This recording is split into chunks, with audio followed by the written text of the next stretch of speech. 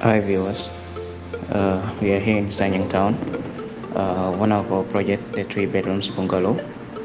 Um, after the setting out has been done, we've done the straight excavation, concrete work, block work, and the backfilling, and also the application of the anti-termites.